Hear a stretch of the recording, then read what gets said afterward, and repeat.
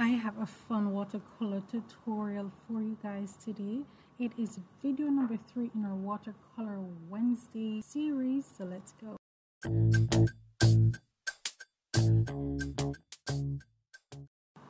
So today I am working in Genesis chapter 27 verses 28 and 29. Now I am working out of the Shift 90 Days of Anointed Prophetic Declarations book by Bernard Deslandes, and I'm on day number two. And let's read today's insert.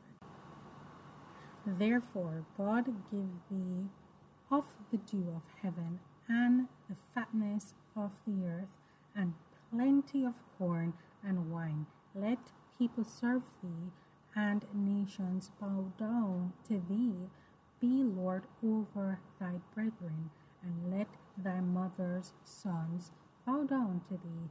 Cursed be everyone that curseth thee, and blessed be every blessed be he that blesseth thee.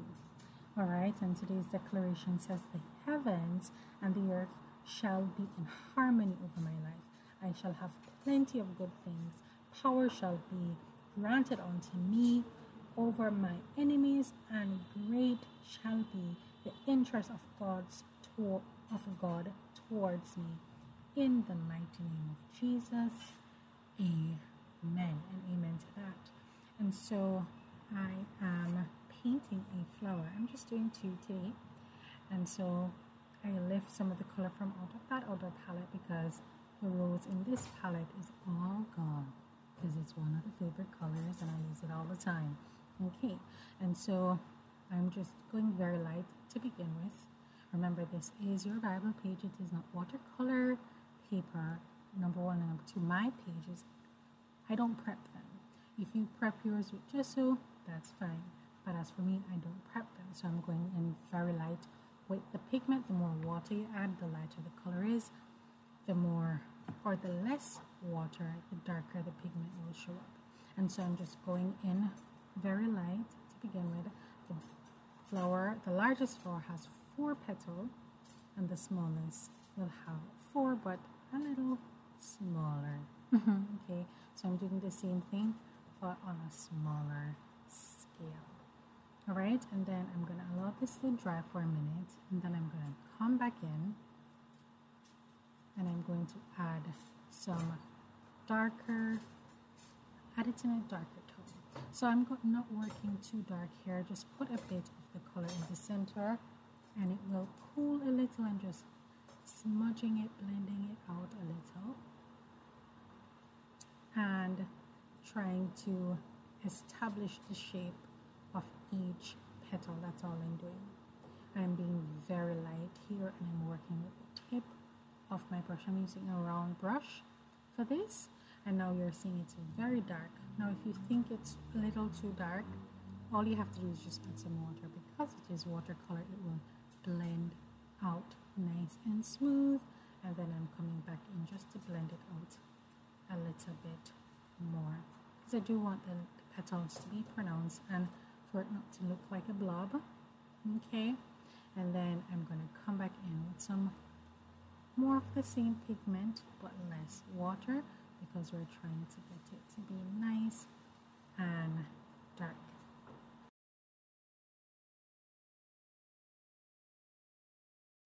I'm going to also read in the ESV. It says, May God give you of the dew of heaven and the fatness of the earth and plenty grain and wine. Let people serve you and nations bow down to you. Be Lord over your brothers, and may your mother's son bow down to you. Cursed be everyone who curses you, and blessed, blessed be everyone who blesses you. And I pray this scripture over your life and over my life. Pray this scripture over your children's life and your grandchildren if you have them, because this is a powerful scripture. This blessing is very powerful. It is very potent And I pray this that this will be your portion in Jesus' mighty name. I'm now adding in a bit of leaves. I'm putting three leaf per flower and I'll just add a little yellow here and there and then I'm just going to blend it out and I'm going to come back in and add the finishing details onto the flower. I use the same rose color to highlight my scripture.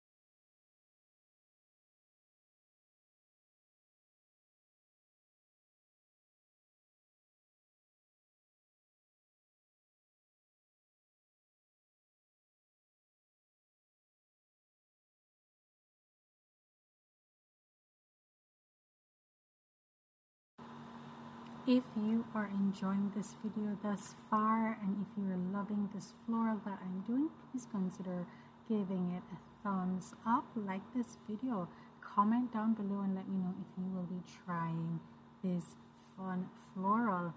As you see, I'm darkening up the center now. We can see the different petals and we can see our flower having some nice dimension. Of course, you can go ahead and do a lot more, give it a lot more detail, but as for me, I think this is just enough. I will go ahead and add some smaller flowers blooming just to give it some more interest and darken up this leaf so that they don't just look like a big green blob. If you found value in this video, share it with a friend who you know that you know that you know will enjoy this video.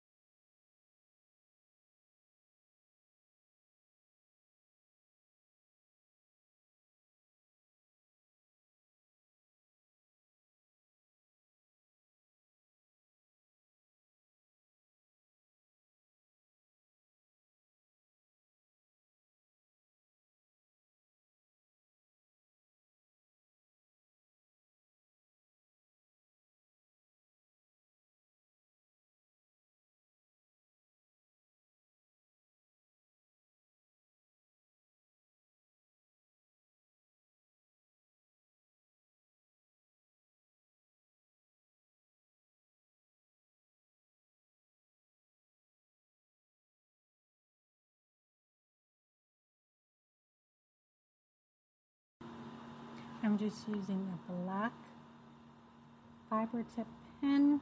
It's not a micron, it's like a felt pen. And I'm just writing in based on what today's declaration is.